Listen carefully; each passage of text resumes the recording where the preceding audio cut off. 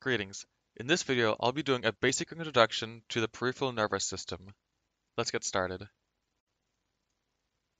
The peripheral nervous system is the entire network of nerves outside the central nervous system that transmit information to and from the central nervous system.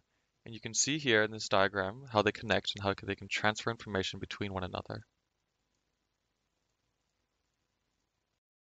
The peripheral nervous system takes information from the sense organs, as well as muscles and glands, and sends it to the central nervous system for processing.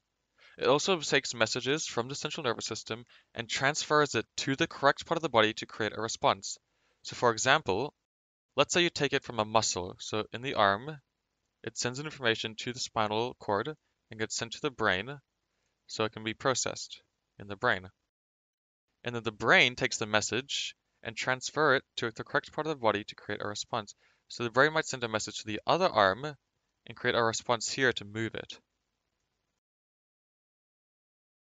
The peripheral nervous system has two subdivisions named the somatic nervous system and the autonomic nervous system, each of which have subdivisions of their own. And you can see here, so the peripheral nervous system splits into the somatic nervous system and the autonomic nervous system. These divisions are explained in other videos on this channel.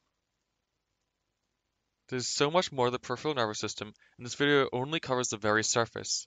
I highly recommend watching other videos for the peripheral nervous system on this channel, including Psychology number 8 and Psychology number 9. Well, this marks the end of this short video. Thanks for watching. Please subscribe. This was created by Simply Explained.